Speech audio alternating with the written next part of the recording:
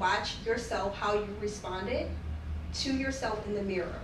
What you'll be able to do is you'll notice your own body language, your facial expression, your tone of voice, the pitch, and the rate at which you speak.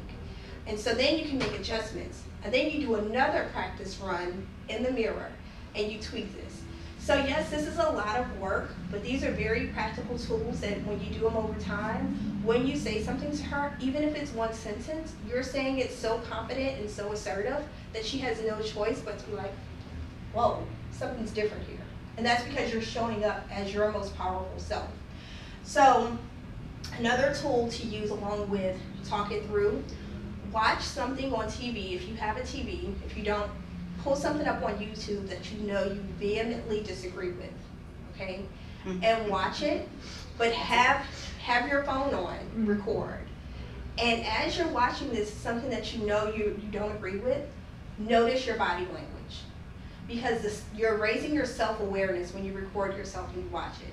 So you watch this thing on TV or YouTube, and then once you play back, you're like, ooh,